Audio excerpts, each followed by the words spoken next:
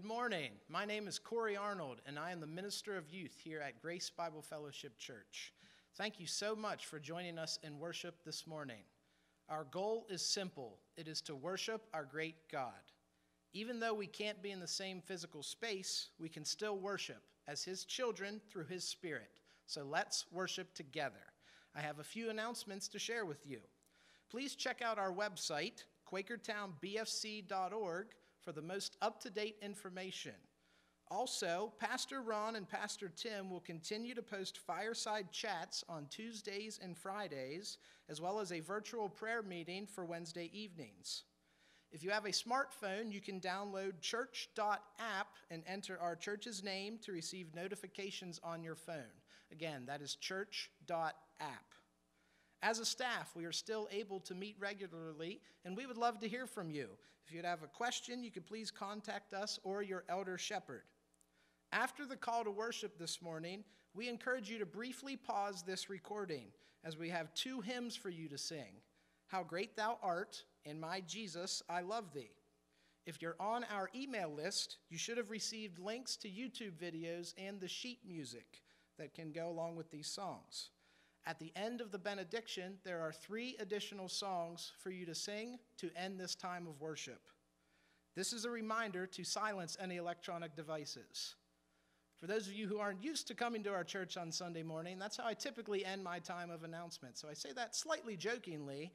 However, we want to encourage you to remove as many distractions as possible so we can worship our great God together. Good morning. I'm Pastor Tim, the assistant pastor here at Grace Bible Fellowship. This morning I'll be reading our call to worship and praying our invocation.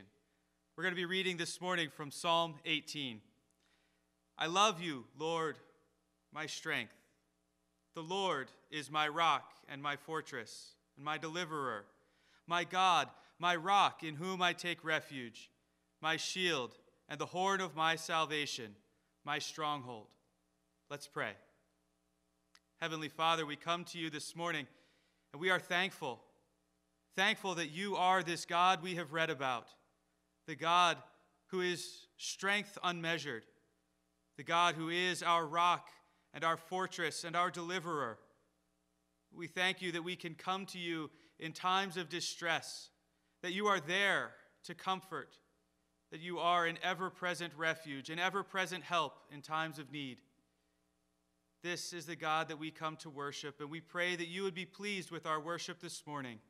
And we pray it all in the name of Jesus. Amen.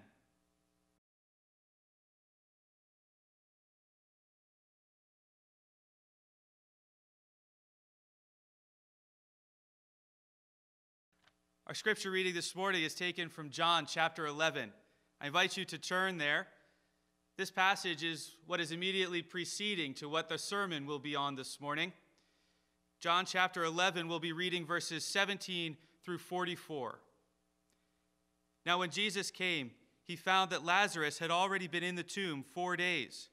Bethany was near Jerusalem, about two miles off, and many of the Jews had come to Martha and Mary to console them concerning their brother. So when Martha heard that Jesus was coming, she went and met him but Mary remained seated in the house. Martha said to Jesus, Lord, if you had been here, my brother would not have died. But even now I know that whatever you ask from God, God will give you. Jesus said to her, Your brother will rise again. Martha said to him, I know that he will rise again in the resurrection on the last day. Jesus said to her, I am the resurrection and the life. Whoever believes in me, Though he die, yet shall he live. And everyone who lives and believes in me shall never die. Do you believe this? She said to him, Yes, Lord, I believe that you are the Christ, the Son of God, who is coming into the world. When she had said this, she went and called her sister Mary, saying in private, The teacher is here and is calling for you. And when she heard it, she rose quickly and went to him. Now, Jesus had not yet come into the village, but was still in the place where Martha had met him. When the Jews who were with her in the house consoling her saw Mary rise quickly and go out, they followed her, supposing that she was going to the tomb to weep there. Now, when Mary came to where Jesus was and saw him, she fell at his feet, saying to him, Lord, if you had been here, my brother would not have died. When Jesus saw her weeping, and the Jews who had come with her also weeping, he was deeply moved in his spirit and greatly troubled. And he said, Where have you laid him? They said to him, Lord, come and see. Jesus wept. So the Jews said, See how he loved him. But some of them said, Could not he who opened the eyes of the blind man also have kept this man from dying? Then Jesus, deeply moved again, came to the tomb. It was a cave, and a stone lay against it. Jesus said, Take away the stone. Martha, the sister of the dead man, said to him, Lord, by this time there will be an odor, for he has been dead four days. Jesus said to her, Did I not tell you that if you believed, you would see the glory of God? So they took away the stone. And Jesus lifted up his eyes and said, Father, I thank you that you have heard me. I knew that you always hear me, but I said this on account of the people standing around, that they may believe that you sent me. When he had said these things, he cried out with a loud voice, Lazarus, come out. The man who had died came out, his hands and feet bound with linen strips, and his face wrapped with a cloth. Jesus said to them, Unbind him and let him go. Let's pray. Heavenly Father, we are again thankful that we can be here this morning. Though we are not together in person, we are together by your Spirit, and we thank you that we can hear from your word. We thank you that, that your word is perfect and that it reveals to us exactly your will. Lord, we are so grateful for what you have done for us. We are so thankful that you have sent your Son into the world, that he is the resurrection and the life, that all who believe in him will have life eternal. Father, this morning, many of us come and we are troubled. Our hearts are restless. Our minds are filled with, with the anxieties of this world. We see sickness. We see fear. We see those around us scared. We don't know exactly how to help those. But Lord, we, we know that you have promised to be our refuge and that you have promised to bring life. We pray that you would help us as your people to, to display the light of life that you have given to us. We pray that we would be ready to answer those around us what is the hope that is within us? that the hope is Jesus Christ who lives in us. Lord, we, we come to you in these difficult times and, and we think about people, not just ourselves, not just our own church. We think about people in our country and around the world. Lord, we pray that you would bring healing. We pray that you that you would bring a resolution to this illness that it would come quickly, that you would use the, the governments, the physicians, those that are, that are gifted to understand. We pray that you would use them and their abilities to bring a swift end to this pandemic. Lord, we, we pray in the midst of it, though, that you would give us comfort. You would give us comfort to know that, that you are good, that you still love us Lord, we pray that you would give us the comfort to know that we do not need to fear, not because this illness is not real, not because there are not potentially serious consequences, but Lord, you give us comfort knowing that we have a hope in a future, a future that is with you where there is no more illness, where there is no more disease, where there is no more crying. Lord, we thank you for your Son. We thank you for the life that he has brought, not just in this world, but in the one to come. Lord, we pray all these things in his name. Amen.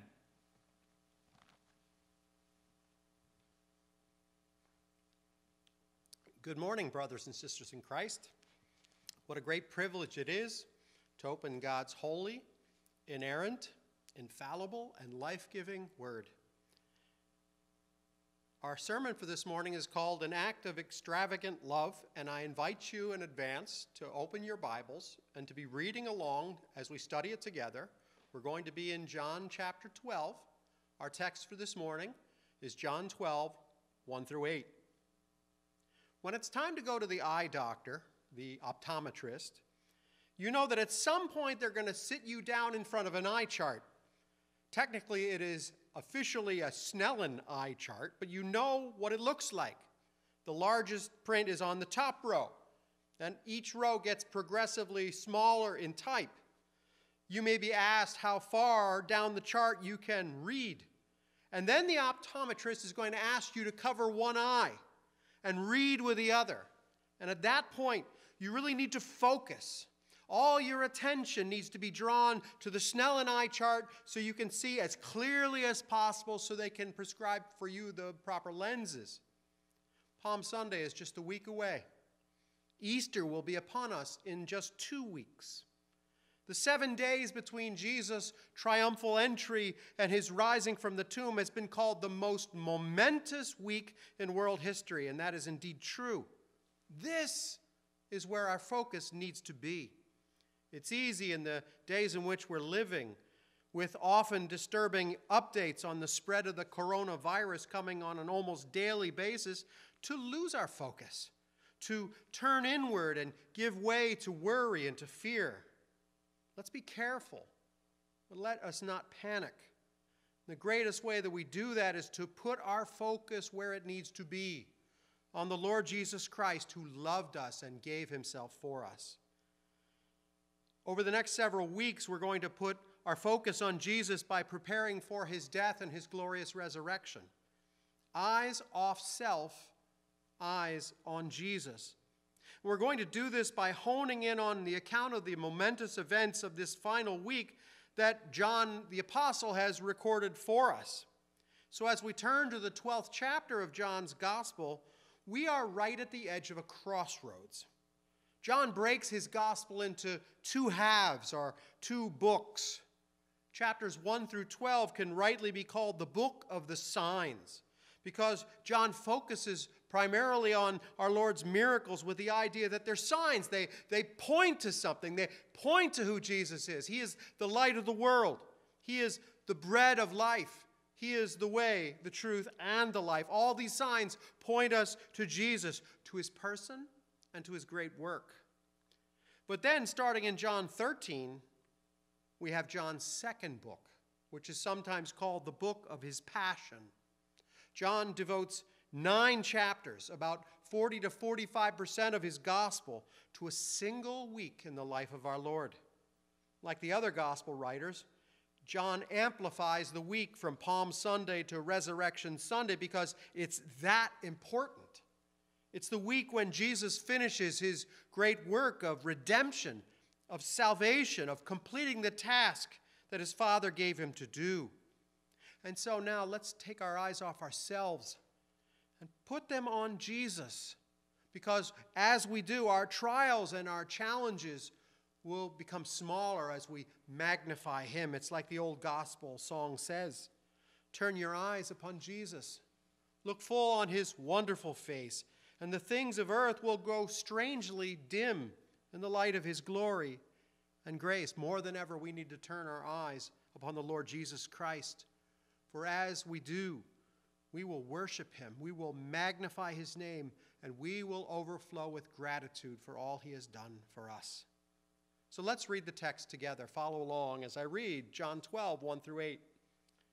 Six days before the Passover, Jesus therefore came to Bethany, where Lazarus was, whom Jesus had raised from the dead. So they gave a dinner for him there. Martha served, and Lazarus was one of those reclining with him at the table. Mary therefore took a pound of expensive ointment made from pure nard and anointed the feet of Jesus and wiped his feet with her hair. The house was filled with the fragrance of the perfume. But Judas Iscariot, one of his disciples, he who was about to betray him, said, Why was this ointment not sold for 300 denarii and given to the poor? He said this not because he cared about the poor, but because he was a thief. And having charge of the money bag, he used to help himself to what was put into it.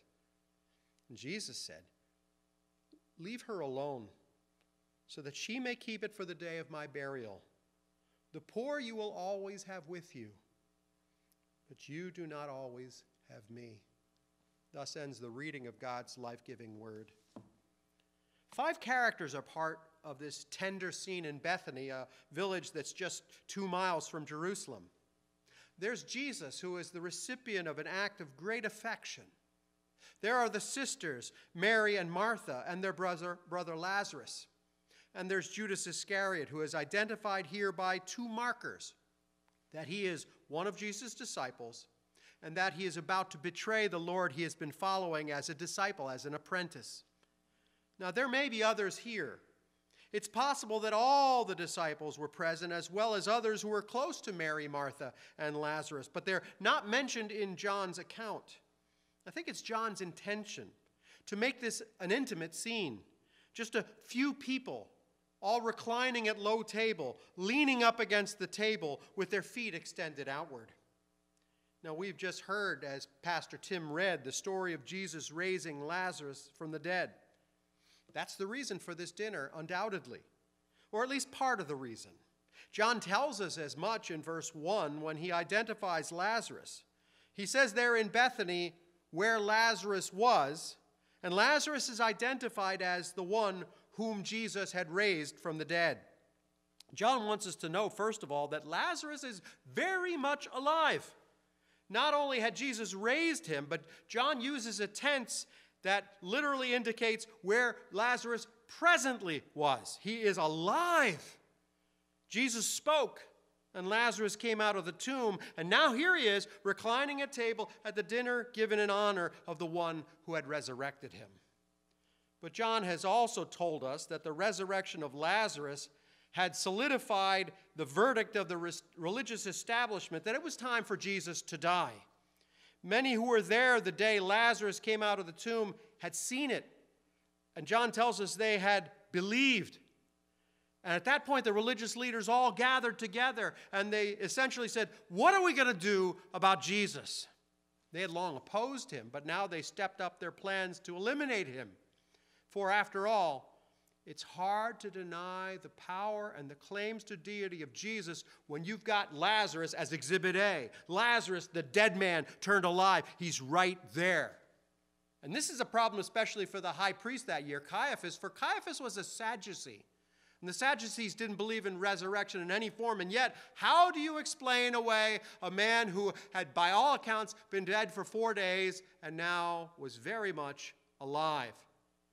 And so that puts the capper on the leader's plan to eliminate Jesus. And John has already told us this. He has said that Caiaphas is of the mindset shared by most of his leaders that if Jesus continues to grow in popularity, the Romans will see him as a rival king, and they will crush not only Jesus, but everything that is of importance to the Jewish people. So Caiaphas says, John chapter 11, verse 50, it is better for you that one man should die for the people, not that the whole nation should perish. Well, Caiaphas was, of course, saying far more than he knew. For Jesus, the one man, would indeed die for the many, for the salvation of many, for the forgiveness of sins for all who would trust in him. For Jesus at the cross will take their sins upon himself and will pay the price that they owed. All of that is in the offing. And now it's just before Palm Sunday. One of the other gospel writers has said that Jesus, at this point, has set his face toward Jerusalem. His eyes are on the cross. But before he mounts a donkey and rides into Jerusalem, with people waving their palm branches, we have this scene that is now before us. It's an act of courage for Mary and her siblings to honor Jesus this way knowing that there's a plot against him. You can look to verses 9 through 11 in this chapter, the passage that right directly follows the verses we're studying. And we can see that the chief priests are planning not just the, to kill Jesus, but also to put Lazarus to death. So Exhibit A, in support of Jesus as the Messiah, will just go away. So, knowing this, what Mary and Martha and Lazarus do for our Lord is a courageous event. I've already told you that there are five characters in this scene, and three of the five have their moments. First, we see Mary's act of extravagant love. And then Judas steps in with his reaction of false piety. And then finally, John presents Jesus' response that draws our attention, our focus to what is yet to come. We begin with Mary's act of extravagant love, which we see in verses 1 through 3. See the posture of the participants at the dinner. Lazarus is reclining at table, enjoying the meal. Martha is cooking and serving. That is a very Martha thing to do. And then there's Mary. Perhaps at this point you remember another scene featuring Mary and Martha. Luke gives us an account in Luke chapter 10, verses 38 through 42, of, of Martha complaining as she was serving on another occasion that Mary wasn't doing anything. Where's Mary on that day? What's she up to? Well, where Mary is, is the same place where she's at now. She's at Jesus' feet.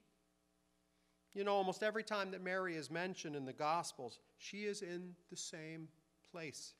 She is at the feet of Jesus. And what's she doing there? She's learning from him. She's loving him. She's in a posture of worship and adoration. That's where we're all to be, aren't we? Mary's top priority, and it's presented again and again in the gospel accounts, is her Lord Jesus. Now, what we see here from Mary is not a spur of the moment thing. This is not something that she just decided at that very time. This is well thought out. And it's more than just, I think, an act of gratitude for what Jesus has done in resurrecting her brother. No, Mary does what she does because she loves her Lord, and she has loved Jesus far longer than just what we see in, in John chapter 11. He is her focus. He is what she sees more than anything or anyone else. And there's something else here. And we see it subtly, but it's here that Mary has a sense that Jesus' time with her is drawing to a close. Jesus even says as much. And indeed, it seems like Mary is the only person around Jesus who has a proper awareness that the Lord is about to die. Even though Jesus has been telling his disciples more than once that he is going to be betrayed into the hands of his enemies and killed at the hands of the authorities, and then he will be raised on the third day. But they don't get it. They won't get it until after his resurrection. But Mary does. So now, loving him and knowing that he is about to depart, Mary does what she does as a deliberate act. Verse 3 says that she took a pound, literally about 11 and a half ounces of nard or spikenard. It's an oil extracted from a plant that grows primarily in the region of the Himalayas. You get the idea that we're here in the, in the ancient East, and the Himalayas are far away, so it's not easily obtainable. Parallel accounts in Matthew 26 and Mark 14 tell us that she took an alabaster flask and she broke it and then she poured out the oil. She was not sparing. She didn't save any of it. Jesus received it all. And Judas' response here tells us how valuable it was. He says it could have been sold for 300 denarii. Denarius was the average daily wage of a day worker, a common man. So 300 denarii would have represented a whole year's wages. So put this in perspective. I did some searching. I understand I'm not a man, I do not wear perfume, but I understand that Chanel number five is still expensive.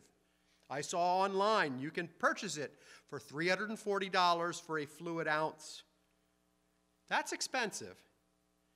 But what Mary did cost the modern day equivalent of thousands and thousands of dollars. So imagine Mary taking $30,000 worth of perfume. That gives us a sense of the value of what she did.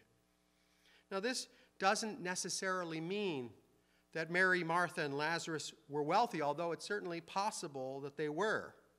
More than likely, though, Mary would have been saving this for one of just two things her wedding day or her own death. This could have been a family heirloom that was being saved to be part of Mary's dowry on the day she was married.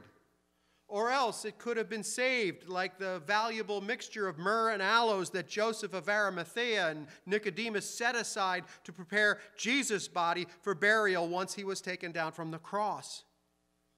Mary broke the vial, and the sweet fragrance of the nard filled the home because of what she did with it.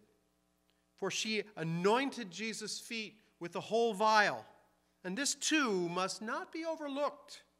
We read elsewhere in the Gospels how the role of washing a person's feet was reserved for the lowest slave, and, and that even many slaves would claim one of their few rights and would refuse to engage in the lowliness of foot washing. But Mary did this willingly and deliberately. And then she did something else. She let down her hair. She wiped his feet with her hair. This simply was not done. A woman letting her hair down was a breach of etiquette of the worst kind, it was a scandalous act. Rick Phillips says that if a married woman let down her hair in public, that was cause for divorce. And if a single woman did so, it was thought she's being lewd and lascivious, and she could have been stoned for doing so. Normally, a woman would let, only let down her hair in private and only in the most intimate of situations. But this is what Mary did. Why? Because she wanted Jesus to know that he was her all, that she was totally surrendered to him, not in an impure way, there's not a hint of that, but as an act of adoration. This is an act of worship, and it's costly. For Mary had come to know who Jesus was. She might not have known it all, but it's apparent from the gospel accounts that Mary knew that Jesus was the Messiah. She even said so in John 11 while Lazarus is still dormant in the tomb. She says to Jesus in John 11, verse 27, I believe that you are the Christ, the Son of God who is coming into the world. And when Lazarus came forth, her belief in Jesus just grew stronger. Think. By doing what she did, Mary is giving up much of her future plans. If this is part of her dowry, Mary is saying, Jesus, you are worth far more to me than even my own future. And she gave it all. She held nothing back. We can learn much about worship from this. This kind of worship comes from a love for Jesus, and it is the product of deliberate thought.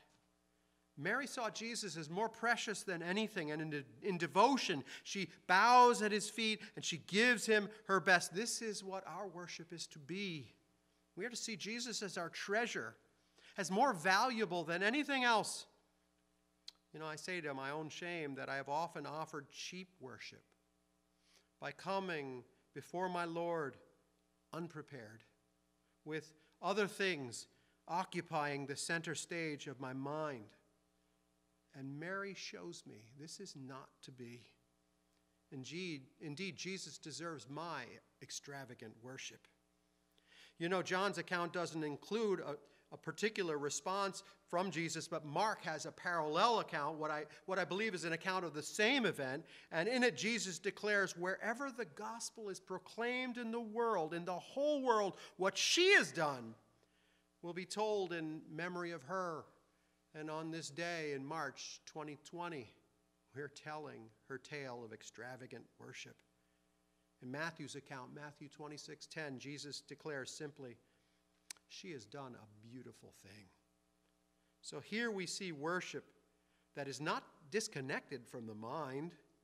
She worships Jesus based on what she knows, based on what she believes about him. But worship, as Mary offers it, is also worship of the heart. She is open before him. She gives all of herself to him, and she expresses her love for him. Next, in verses 4 through 6, we see Judas's reaction of false piety. While the aroma of Mary's sweet act of devotion is still spreading throughout the room, the reverie of the moment is broken by Judas. Here in John, Judas is the one who speaks, but what he says, Matthew tells us, was what the other disciples were also saying. They were indignant. Why this waste? Here in verse 5, John gives us Judas's reasoning.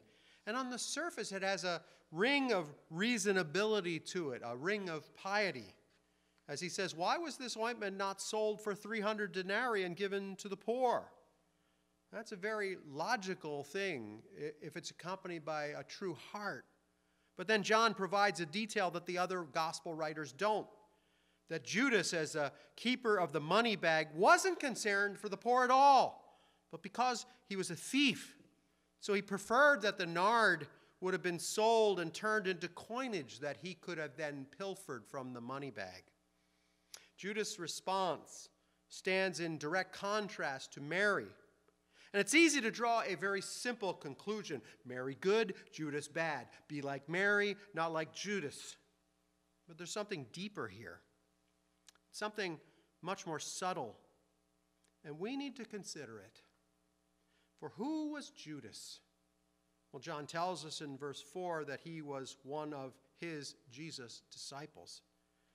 That means that Judas had walked with Jesus, had talked with Jesus, had learned from Jesus, even had been sent out by Jesus to do ministry. He had had the benefit of, of intimacy with the Savior. And yet, we read this right in our own narrative. Judas was preparing for betrayal. John writes in verse 4 that he was about to betray him. And perhaps this event was the last straw that put him over the edge and caused him to seek out the chief priest for the purpose of turning Jesus over. And we know that Judas will betray Jesus for 30 pieces of silver. That works out to about 120 denarii. So Judas betrays Jesus for less than half the worth of the oil that Mary poured out while she bowed at his feet. And yet he can say, even as Mary gives all of herself to the worship of her Lord, he can say, What a waste. Judas shows us that it's entirely possible to be close to Jesus, to be close to religious things, and yet not know him. He shows us it's impossible to know about the Lord Jesus, but not see the value of giving all to him. And I ask myself, do I do this? Do I sometimes fail to see the matchless value of the Lord Jesus? For here we see Judas and the other disciples as well, seemingly embarrassed by this outpouring of devotion. Judas says what they're all thinking, and we're capable of the same response. Don't go overboard. Ally yourself with Jesus. Be part of a church but just don't go crazy. And we can do this in many ways. What's your response on a Sunday morning, for instance, when you see someone is maybe sitting in the very same pew who is visibly engaged in worship, not, not making a show of themselves, but moved in gratitude and love and devotion because what they're singing or what they're hearing prayed or preached is just so wonderful to them that the tears just start falling. And if you're singing, you just can't go on because it's so difficult to, to sing and cry at the same time. You, you have to stop. How, how do you respond when you see someone like that? Do you distance yourself? Do you, do you think a person's just kind of off, just a little too weird for my liking? Do you respond by thinking that that is so over the top? I mean, I love Jesus, but I, I, am not going to be a, a fanatic. So, so see the contrast. Here's Judas who says, Mary, you've wasted all that money by loving Jesus like that. And then there's Mary who, by her action, declares, You know, nothing is more important to me than Jesus, than falling at his feet in love and worshiping him. Finally, in verses 7 and 8, we see Jesus' response. It is a response that draws our attention to what is to come. For he says, Leave her alone, so that she may keep it for the day of my burial. The poor you always will have with you, but you do not always have me. Hear first what Jesus was not saying. He's definitely not saying that the poor are unimportant to him or, to, uh, or that they can be unimportant to us. If you draw that conclusion, you go against the whole teaching of Scripture and you go against the actions of Jesus himself. That is not what Jesus is saying here. What he is saying, though, corrects our understanding of priorities and values. What is the highest value? What is the most important thing that we can do with our lives as Christian believers? The highest thing is to fall at the feet of Jesus in worship, in love, in adoration and in service and in devotion. The sentence structure in these verses is, is difficult. But what Jesus is saying, I think, to Mary and about Mary by her actions is that she is, by the things she does and the things she says, and by his definition of those things, is that she is um, kind of looking forward, pointing ahead to what he is about to do. She knows he is going away. She might not know exactly what is going to happen in the next week or even the full meaning of her own sacrificial act of extravagant love, but just a day before his triumphal entry and less than a week before he will die as our sin bearer on the cross, she is preparing his body for the day of burial. Do you see what Jesus is saying here? He's saying he's here for a short time. The emphasis in saying that is on the, the, the, unsurpassing value of Jesus and of worshiping him. He welcomes her act as he welcomes our true, heartfelt, grateful worship. Our cares must not get in the way of that, not even our current cares about the coronavirus. The worship of, of, of, our Lord Jesus Christ is to be our highest focus, and we are to lavish our extravagant love upon him. Oh, I tell you this, my brothers and sisters, I, I so very much look forward to our being together. Whether it's a week from now, or a month from now, or even a season from now. I, I can't wait for us to together bow before Him in worship. But until then, we still have the privilege of worship. And until then, let us focus. Let's take eyes ourselves off self, put them on Jesus. We who know the grace and mercy of God in Jesus Christ, let us focus on Him as we look forward to His death, as we prepare for His glorious resurrection, as we anticipate His ascension into glory and His current position, which is at the right hand of the Father in a position of power. And so we can sing. Uh, along with one of the songs that is a supplement to the end of the service. Take my love, my Lord, I pour. At thy feet its treasure store. Take myself, and I will be ever only all for thee. Ever only all for thee. There's nothing more important than our worship of the King of kings and the Lord of lords. May our focus be on him. Let's pray. We thank you, Heavenly Father, for providing your word. You reveal yourself through your word. You, you show us who Jesus is and what he has done. You show us what are truly important things to be doing, and that the highest value, what you have made us for, is to enjoy you and to worship and to glorify your name, and to do this every day of our lives. Lord, we know that there are things happening in our world that can easily distract us. And we can focus all our attention on the news reports, most of which are bad news for the time being, but remind us that you are in control and you are both powerful and loving. And in your love, you sent your Son. So help us to prepare for that Passion Week. Help us to set aside our time every day for worship and the study of your word. May we look eagerly, eagerly to you, to what you have done for sinners like us, and may we relish it and may we worship you with full and grateful hearts. This we ask in Jesus' name. Amen. And now, brothers, hear the benediction. I found this week what is called the breastplate prayer of St. Patrick. May Christ be your shield today. Christ before you, Christ behind you, Christ beneath you, Christ above you, Christ on your right, Christ on your left. May Christ be with you, Christ be in you, alone and in multitude, near and far, for all you face and for all your life, that you may live in the protection and the power of his blessing. Go in peace, my brothers and sisters. Amen and amen.